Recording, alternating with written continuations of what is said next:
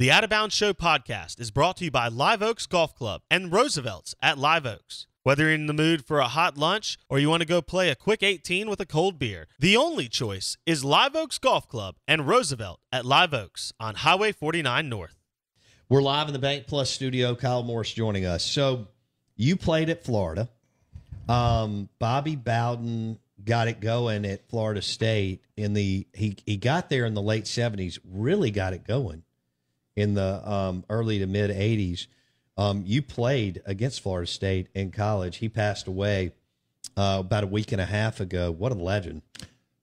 One of the most amazing men I ever came across. Uh, recruited very hard by Florida State.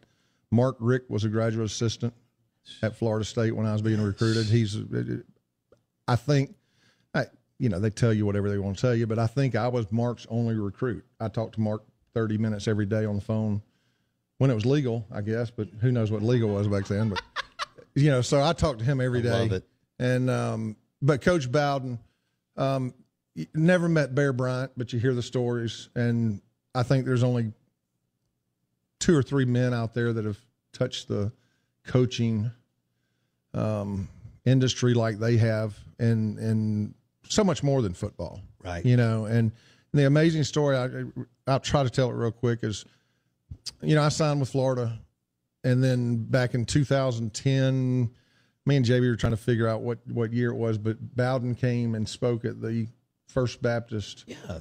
uh, breakfast uh, prayer bre- FCA prayer, prayer prayer breakfast, and I got to the went to uh, listen to him talk, and I got there, and he was standing was sitting on stage with Larry Fedora, who was at Southern at the time, and I said, "Man, I just I hate I don't want to interrupt people.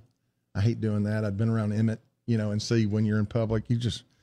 But I said I got to do it, so I go walking up on stage, and and it's before the thing, and as I go walking up to him, I, I make eye contact, and he's got a mouthful of food, you know, and and I'm wanting to talk, and he says, Clinton. I said, yes, sir. Clinton, right down the street, Kyle Morris. Yeah, Kyle, how you doing? And I said, well, coach, it's really good. I'm sorry to bother you. I just had to, you know, come say hey. He said, how's your mom and dad doing? And I said, well, coach, my, my dad passed away back in 92. And he said, is Miss Jean okay? And Unbelievable. and I'm like, um, she's good. She's she's good. Everything's good. We're working. We're you know, and just a little small talk, but you know, that was 20 years earlier. right.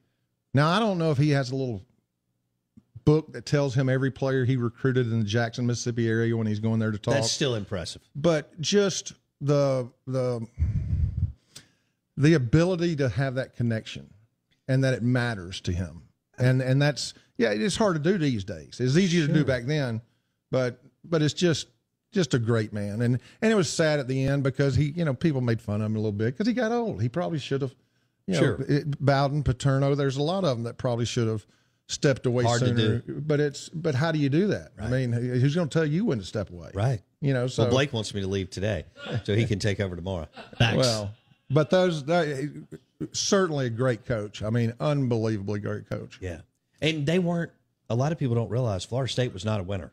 Oh no, they were women's college Uh, for And- years. For years, and um, Tallahassee was nothing. no, and he came in there and, and made something out of nothing, and could have left several times. Yes. You know, Because there's all that Alabama talk because he's from Birmingham and he always talked about his. He Yeah. started at Bama, ended up at Samford, but his first love was, as you know, the University of Alabama. oh yeah, yeah. So who, there's there's a lot of what might have been if Oh, they had not hired Bill Curry Oh, and they'd have hired um, Coach Bowden, uh, Cal, who knows? which is right at the time you were going to Florida. Yep, you might have skipped out on a lot of bad years of upset Alabama fans. I mean, that's